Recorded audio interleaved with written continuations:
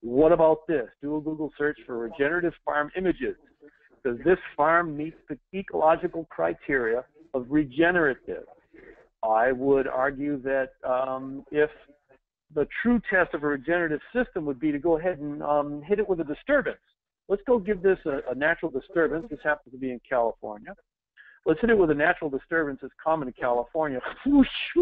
there we go. Okay, what happens to that farm? Oops, that's not a regenerative farm. It just isn't. Doesn't meet the criteria, uh, ecological criteria for regenerative. And I'm not saying that that kind of farm is, is, is bad. I'm just saying that we need to, to uh, have a conversation about this, this word, this term, regenerative farming. What does it really mean, and whose term of regenerative are we using? I'm an ecologist. I study nature. I'm going with that definition right there. All right, so we're talking about our, our plants.